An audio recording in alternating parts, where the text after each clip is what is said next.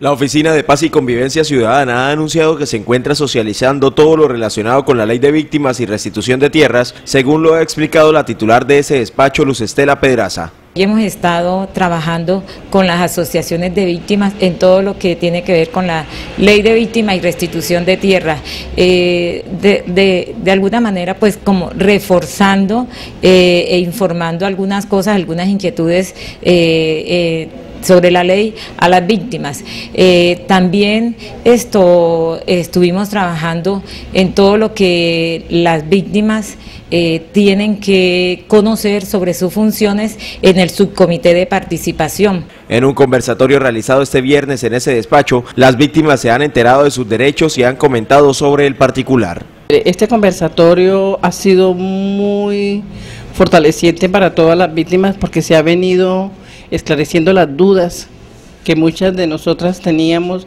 sobre el Comité de Justicia Transicional, eh, las representaciones de las víctimas del desplazamiento forzado. Fue muy importantísimo porque nos estuvieron eh, dando explicaciones de muchas cosas de lo que es en la parte de reparación de víctimas, lo que fue reestructuración de tierra, el proyecto de, de ley de reparación de víctimas.